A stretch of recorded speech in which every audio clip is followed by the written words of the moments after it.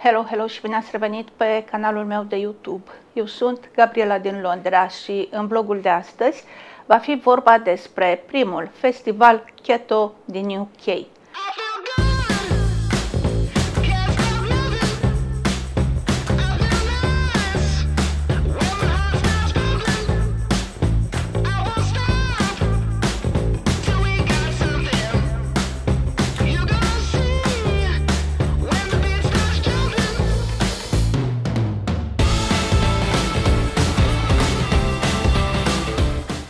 Despre keto se știe că este o dietă care a apărut în anul 1920 în America, atunci când doctorul Russell Wilder, care era diabetolog și epileptolog, căuta un tratament pentru epilepsia juvenilă.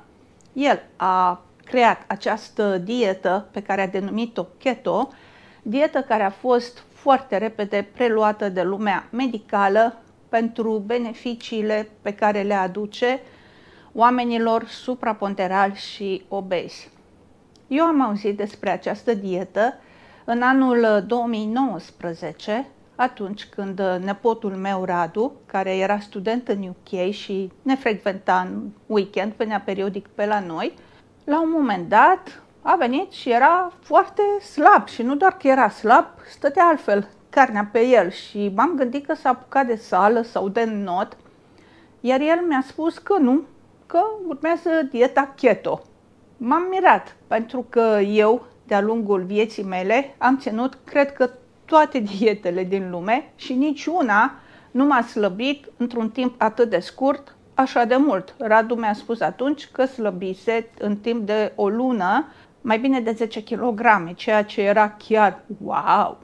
Și pentru că aveam deja un istoric în care, mai ales în adolescență, m-am chinuit foarte tare cu dietele, pentru că îmi doream să mă aliniez la cerințele societății și în timpurile acelea, dacă nu arătai după un anume standard, erai foarte ușor respins și deși acum locuind în Londra, nu mai am presiunea asta a societății, pentru că aici fiecare arată fix cum vrea el și nimeni nu comentează. Ei bine, totuși, m-a avut așa o nostalgie să mă gândesc, mă, dar cum ar fi dacă eu acum aș începe o dietă keto?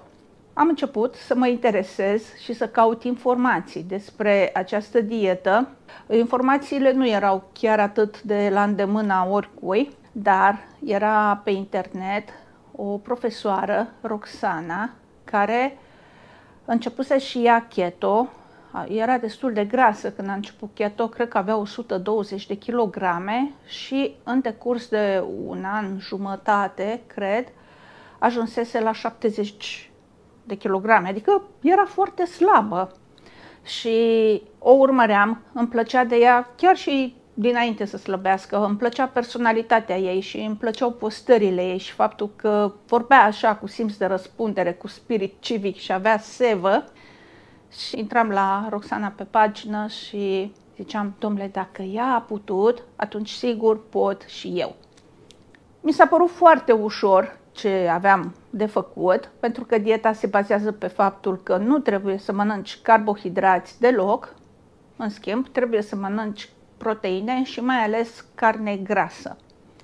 Și mie, care de-a lungul vieții îmi plăcea foarte mult costița și evitam cu înverșunare să mă apropii de carnea cu firicelele acelea foarte delicioase de grăsime, Acum, dintr-o dată, când am uh, citit că este chiar uh, recomandat să mănânci cărnița asta cu grăsime, am zis, wow, uite ce au descoperit ăștia, chiar există așa ceva, nu pot să cred. Și m-am apucat de keto. Primele 10 kg le-am slăbit foarte repede, cred că în primele 2-3 luni. Din păcate, au început să apară efectele secundare. Nimic în viața asta nu este doar bun sau doar rău în toate există un echilibru și era și cazul meu să trec prin această situație legată de dieta keto. Au fost trei efecte secundare care m-au încurcat foarte tare, pe lângă faptul că dieta nu era deloc ieftină, că să mănânci zilnic somon, avocado, fripturică, asta este o mâncare scumpă. Și când trebuie să o mănânci în fiecare zi, hm, bugetul meu o cam, lua, o cam luase razna. Dar pe lângă treaba asta, că financiar vorbind, mă costa mult mai mult, am avut uh, câteva probleme de ordin medical și anume primul a fost insomnia. Deci nu mai puteam să dorm. Și în dieta aceasta se specifica faptul că la un moment dat apare insomnia, dar se spunea că va dura un timp limitat. Ori la mine nu mai trecea și efectiv asta mă împiedica să-mi desfășor activitatea. Adică mă așezam seara în pat și stăteam cu ochii în tavan până dimineață. Reușeam să ațipesc în weekend spre dimineață, dar mă trezeam și aveam capul cât o baniță, aveam un cap greu, nu mai puteam gândi limpede. Mai rupeam așa câte o oră pe la amiază, dar în general starea mea uh, mentală era praf. Pe lângă asta erau uh, crampele musculare, începusem să am uh, cărcei foarte dureroși la musculatura picioarelor și practic îmi era frică să fac orice mișcare mai uh, sportivă, ca să zic așa. Eu am făcut mult sport la viața mea și îmi plăcea, fac și acum. Ei, în perioada aceea nu mai puteam să fac aproape nimic, chiar și când mergeam pe stradă, uh, brusc, dintr-o dată mă lua câte un cârcel de asta, așa era de dureros de îmi venea să plâng. Și al treilea efect secundar era legat de durerile de cap. Mă durea foarte tare capul, eu fiind o persoană care nu am uh, experimentat în viața mea prea mult durerea, adică am avut și eu niște probleme, da? Minore și absolut normale, dar dureri din astea grele, care să nu treacă cu nimic și care să dureze zile în șir, eu n-am avut până uh, la acel moment. Și din cauza că aceste trei efecte secundare uh, au reușit să mă destabilizeze în activitatea mea uh, curentă, după un an de zile am întrerupt dieta. Acum mi-am adus aminte că aveam tenul foarte încărcat, aveam niște coșuri mari, așa, destul de urțele pe față, din cauza faptului că mâncam atât de gras. Și uh, N-a fost ușor să țin această dietă pentru că nu aveam voie să mănânc pâine. Eu am o relație foarte specială cu pâinea din cauza, din cauza, nu datorită, din cauza faptului că a fost alimentul de bază în copilărie și în studenție, pentru că nu se găsea mâncare, nu pentru că nu eram sărași, ce să găseau? Niște conserve nenorocite prin magazine. Ce mâncam noi în anii 80? Niște prostii. Așa? Și am, uh, nu aveam voie în dieta keto să mănânc nimic dulce și am o relație specială și cu dulciurile, tot din cauza că, și nu datorită, din cauza că în copilărie la noi se făceau dulciuri la evenimente. Și evenimentele erau cam singurele momente în care eram liniștiți și fericiți. Nu se mai certa nimeni, nu să mai trânteau uși, nu să mai făcea scandal și atunci eu și acum, deși de 30 de ani am familia mea care este super ok și nu mai sunt abuzuri nici fizice, nici verbale, nici psihice, eu totuși am rămas conectată la treaba aia din copilărie. Când mănânc dulce, deși fizic îmi face rău, mă doare stomacul la maxim 3 minute după ce am mâncat o prăjitură, dar psihic Doamne, deci mă ridic așa pe un norișor în al nouălea cer. Deci așa ceva. Ei, dulciurile din dieta keto nu sunt făcute cu zahăr, poți să folosești zahăr de ștevie. În schimb, au foarte mult unt și mai ales untul acela de arahide care este foarte grețos. Ok, una peste alta, dulciurile din keto nu au savoarea și textura unei prăjituri clasice, care pentru mine va rămâne în continuare regina dulciurilor. În keto n-am putut mânca pâine, am suferit, n-am putut mânca dulciuri și asta m-a deranjat și nu puteam mânca fructe. În keto sunt permise doar uh, fructele de pădure, și mure, smeură, nu știu, chestii din astea, fructe de pădure și, și acelea în cantități mici. Ori mie mi-era poftă de cireșe, de caise, de piersi și țin minte că în primul an în care am ținut keto a fost o vară foarte călduroasă și m-am abținut foarte greu să mănânc pepene. Ei, cum să fie afară caniculă și tu să nu poți să mănânci pepene de la frigider? Asta nu e dieta, asta e tortură. greu, a fost greu de tot. Așadar, am renunțat uh, la dieta keto. Ca în cazul tuturor dietelor pe care le-am ținut eu de-a lungul vieții mele, kilogramele pe care le-am uh, pierdut au început să se întoarcă. Deși se spune despre keto că este o dietă fără efect yo-yo, eu vă spun pe pielea mea că la mine kilogramele, uh, kilogramele începuseră să se întoarcă vesele și nu mai puteau de bucurie când ne-am întâlnit iar. eu nu eram așa de veselă și atunci am zis, hopa, trebuie să fac ceva. Pentru că știam din experiență că după ce întrerupi o dietă, kilogramele pe care le-ai pierdut se întorc, dar împreună cu ele mai vin și prietenele lor. Încă o dată cam pe atâta. Și nu vreau să ajung în situația asta și chiar nu știam ce să fac, pentru că nu vreau să mă întorc la keto.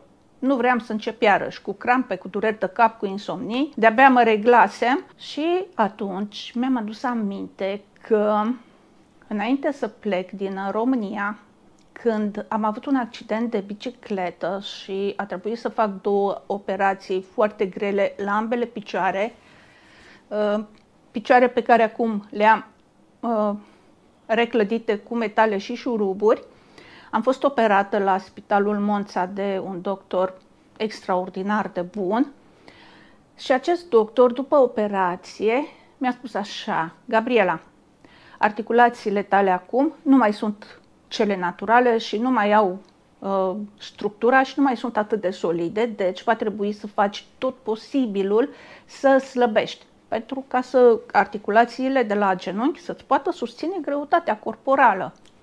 Și eu, pentru că am avut toată viața o problemă cu slăbitul, tot timpul îmi doream să am 50 de kilograme, nu 70, și știam că nu pot L-am întrebat, am zis, hai, acum e momentul ca cineva, un doctor, să-mi spună, domnule, cum să fac să slăbesc? Că eu țineam dietele după, cam după ureche, așa. Și doctorul s-a uitat la mine și mi-a zis, nu mânca. Este singura soluție ca să slăbești. Nu mânca. Și bineînțeles că a dus-o într-o extremă, dar eu am plecat de acolo și am zis, băi, cum să nu mănânc? Băi, o să mor dacă nu mănânc.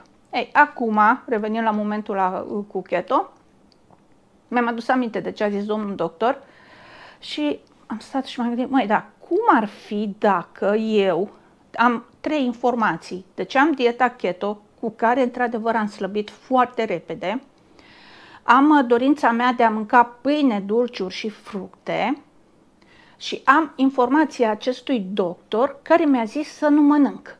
Deci cum ar fi dacă din informațiile astea trei, eu aș construi o dietă personalizată pentru mine, că le-am testat pe fiecare și știu cam cum se comportă.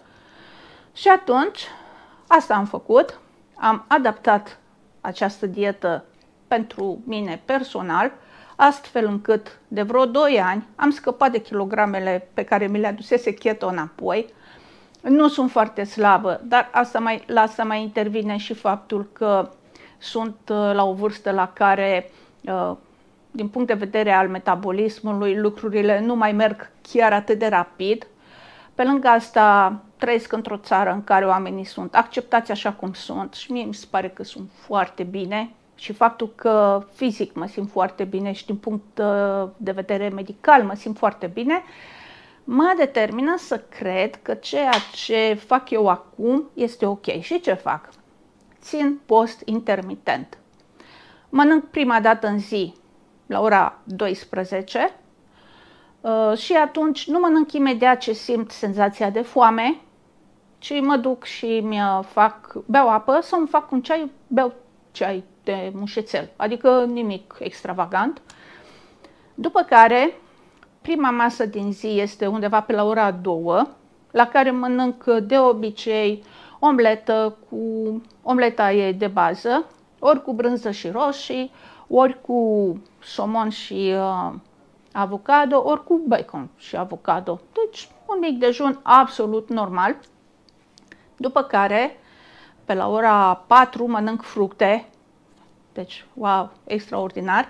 Mănânc și prăjitură, dacă simt nevoia să mănânc prăjitură, dar aici cu prăjiturile mai e o chestie, faptul că a intervenit factorul psihic și anume uh, gândul că am voie, acum pot să mănânc prăjitură, că vreau eu, mă face să nu mai doresc chiar așa de mult. Mintea asta umană e o mare șmecheră, da? Dar dacă vreau, de exemplu, dacă văd ceva, avem o cofetărie uh, ucraineană aici în cartier, domnule, fac ăștia niște prăjituri, ei, și mai trec pe acolo și dacă îmi face ceva cu ochiul, intru și mi-au o feliuță de tort și o mănânc.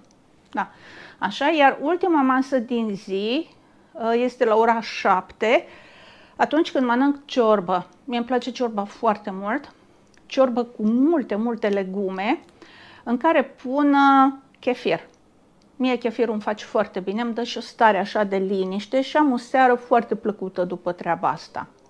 Cam asta e meniul meu acum, nu e nimic ex, uh, extraordinar, nici nu vreau să mă erigez în cine știe ce cunoscătoare în ale nutriției și ale dietelor. E pur și simplu vă povestesc ca unor prieteni ce mănânc eu și cum am ajuns la, această, la acest meniu zilnic.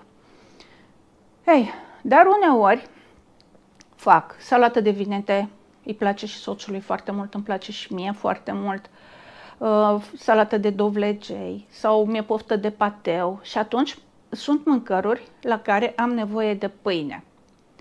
Și nu vreau să mănânc pâinea asta obișnuită pentru că știu sigur că e proastă și că mă și îngrașă. Am găsit aici în cartier la uh, supermarket pâine half carbs, adică are jumătate din carbohidrații pe care ea are o pâine obișnuită, dar are un gust amărui și treaba asta nu îmi uh, prea place. Eu soluții am mai căutat. Din acest motiv, cred că Google, mare în algoritmul lui, că Gabriela din Londra caută rețete keto și e interesată de domeniu pentru că am primit imediat notificare că în Londra se organizează primul festival keto din UK. Și de ce nu mai țin keto acum? De ce un keto adaptat la, ce, la nevoile mele? Ah, imediat am zis, gata, mă duc acolo. Și am fost la festival, am filmat, am filmat fiecare stand în parte, când am plecat la festival, mă gândeam că, mai fiind primul festival din UK, sigur, sigur, sigur vin comercianți cu pâine și cu dulciuri și poate găsesc o pâine potrivită, o pâine în care să nu îngrașă și care să nu fie amară. Și dulciurile la fel. Poate sunt uh, oameni care au uh, creat rețete de dulciuri care să nu îngrașe, dar care să nu aibă atâta unt, adică să fie ceva mai plăcut, așa, mai ușor de mâncat. Mi-am adus aminte acum o întâmplare foarte drăguță. Chiar săptămâna trecută, un prieten de-al nostru și, uh, ne-a povestit că și-a cumpărat mașină de pâine și ne-a invitat la el să ne facă pâine, pentru că aici a devenit mare fan. E foarte fain să te trezești dimineața la 6 și în casă să miroase pâine caldă. Și eu numai când îl auzeam povestind, i-am zis, nu, nu, nu, mersi, mersi, ești foarte drăguț, dar nu vreau să mănânc pâine făcută de nimeni, mai ales caldă. Așadar am fost la festival, am filmat la standuri, o să vedeți adrese de site-uri uh, și toate informațiile de care aveți nevoie ca să comandați. Cu siguranță ei livrează și în România. Așadar, despre asta este vlogul de astăzi. Sper să vă fie de folos. Haideți, mergem la primul festival Keto din UK. A început să plouă torențial, plouă cu soare. Mihai e cu mine, a vrut și el să vină. nu știu ce o să fac el la un festival de mâncare, dar îmi place compania lui, așa că mă bucur. Aici este Woolwich Works și pe aici este intrarea. Hai să intrăm. Asta este biletul, a costat 11 lire și 50 de pounds și este și control de securitate. Primul festival keto și low carb din UK. Foarte tare. Cred că va avea mare succes. O să trec pe la fiecare tonetă în parte. Le luăm așa pe rând, să vedem ne inspirăm. Să vă notați și voi dacă vă interesează numele firmelor, adresele de site. Sunt sigură că multe firme fac livrări și în uh, Europa. Dr. Funk ne spune că fac uh, băuturi cu zero calorii și zero zahăr, fără savoare artificială, fără, uh, fără coloranți, așa arată.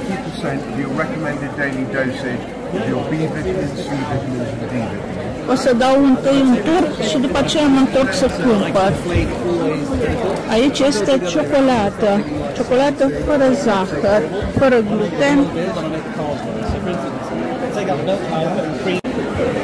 Cei de aici vând cafea. Fără cofeină, fără gluten, proaspătă și delicioasă.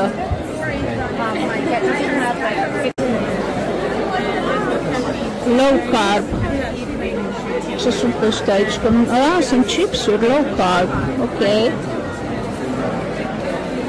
După cum vedeți, nu sunt numai oameni supraponderali aici, sunt și oameni slăbuți care mănâncă keto pentru că vor să-și întrețină silueta.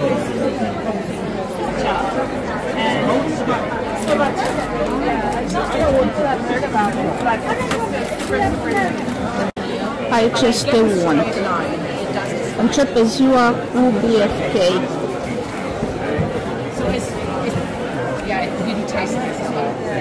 Suplimente keto, care zice prietenoși cu dieta keto, sănătate și frumusețe.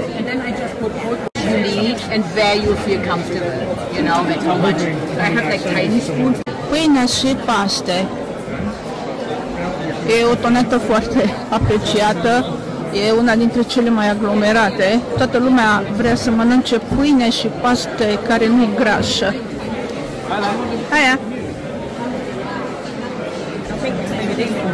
So the, the, roti, yeah, the roti have got cumin, yeah, cumin, cumin, yeah, turmeric and garlic. Married to an Indian, I know. Yeah, yeah, yeah. You better smell it. Yeah, 100%. Și cea mai tare invenție, gogoșile, care nu îngrașă. Condimente, sare, piper, coriandru, toate gluten-free, fără gluten. Încă o tonetă cu pâine și eu o să cumpăr pâine.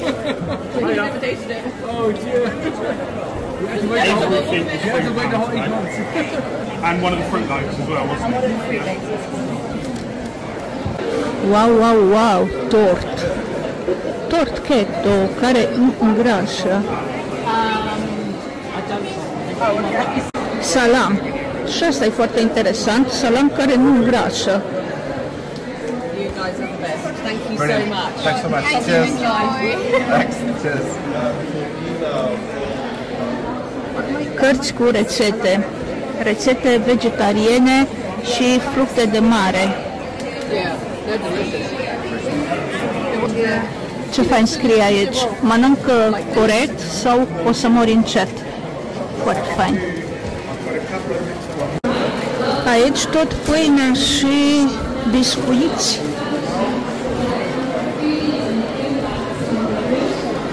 ciocolată.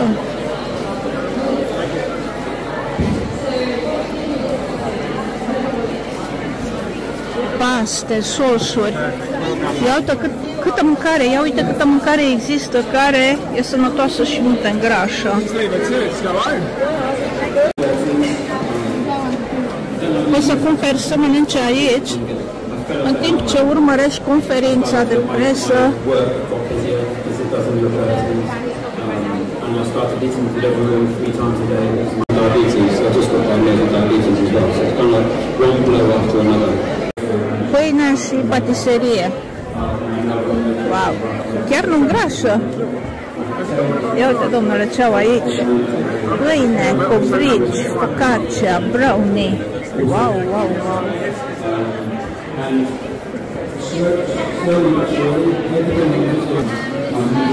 Aici avem și valorile nutriționale.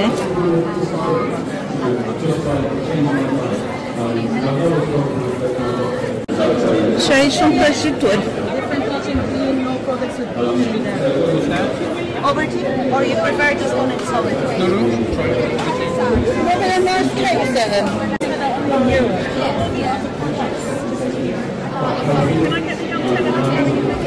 Snacks-uri, keto și low carbs. Ia să vedem. Ia uite, chips-uri pe care le putem mânca fără grija că ne îngrășăm.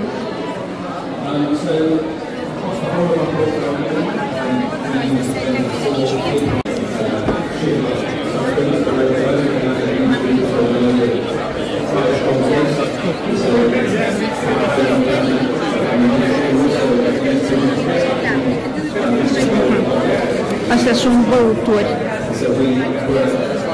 Ok, iarăși cafea.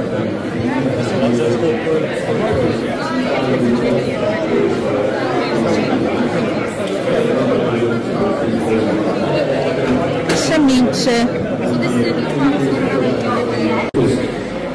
From my experience, I found that I fell off the wagon and get my health wagon because I was missing, you know, Aici este o tonetă interesantă. Zice așa, ce este CMOS? Nu știu, nu am auzit niciodată, să vedem ce e aici. The natural benefits of not adding anything else. And this is like proper good now, like dark chocolate. It's not chocolate tea, if that makes sense. Though. Yeah, exactly. Aici spune că CMOS este un tip de alge culese din uh, Oceanul Atlantic, din nordul Americii și ele arată așa. And then when you're done, open it and eat the coconut flesh from inside. Aici este um, concentrat de oase pentru supe și spune așa, conține colagen natural, bogat în proteine, ușor de folosit, poți să-l ții în cămară și are o garanție, mă rog, termen de valabilitate 2 ani, are de pui, de porc și de vită. really good for gut health if you face like inflammation or any bloating. Uh, but also to our version, you know, very pork, beef, chicken, lamb. Aici avem și niște prețuri. Ei, după cum vedeți, un kilogram din acest uh, concentrat de oase este 200 de lire. we don't use any fillers. It's Siropuri din plante și iarăși patiserie și cofetărie. Cred că astea, tonetele cu pâine și dulciuri sunt cele mai uh, populare și cele mai apreciate. Ia să văd ce au aici. A, uite, de la animale. Lapte. Interesant. Cum a fi făcut oare? Mezeluri, concentrat de oase. Foarte interesant. Uite, adresă de site. It's like a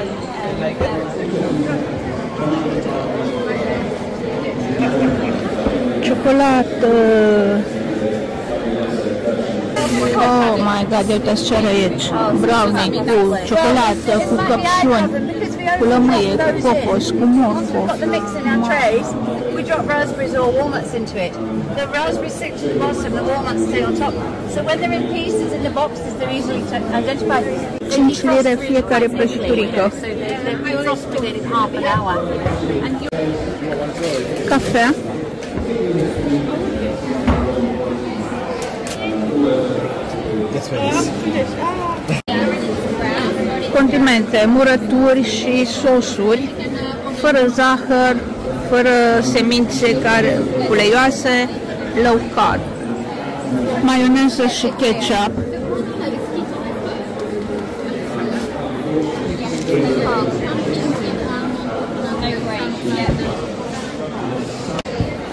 Au și o zonă afară, în curte. Cred că sunt uh, ceva standuri cu mâncare.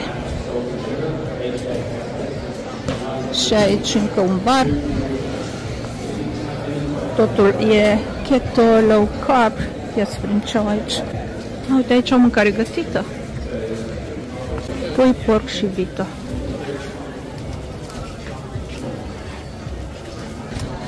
Zece lire o cutie cu mâncare gătită. Pizza și paste. Ce fain! I've got some pictures though. It's, uh, it's one that's vegan with the cheese as well. și grătarele. Foarte util acest festival și sunt sigură că se va dezvolta an de an din ce în ce mai mult. Chiar mă interesau aceste firme să știu uh, cum le găsesc și cum fac comandă. Nu o să cumpăr acum pentru că Mihai mi-a spus că vrea să mergem în centru și nu pot să merg cu cumpărăturile după mine, dar o să fac comandă, să mi le aducă direct acasă. Acesta a fost vlogul despre dieta keto. Și dacă tot uh, vorbim despre faptul că mi-am dat voie să mănânc fructe, am venit să cumpăr fructe, căpșuni organice, kiwi organic, blueberries, absolut tot ce vrei, portocale, lămâi, uite și avocado organic, pere, mere, absolut tot ce vrei și prețurile sunt foarte convenabile. Banane organice și ele organic. Iar cireșele la noi în cartier sunt 3 lire 30 la reducere 300 de grame. Avem două variante pe alese. Vă mulțumesc că m-ați urmărit, vă doresc o zi frumoasă în continuare și să ne revedem cu bine la următorul vlog. Pa, pa!